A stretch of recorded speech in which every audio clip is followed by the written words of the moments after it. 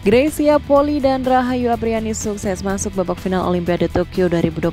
Ini merupakan yang pertama kalinya ganda putri Indonesia menembus final Olimpiade sejak pertama kali badminton dipertandingkan di pesta olahraga terbesar dunia 1992 silam.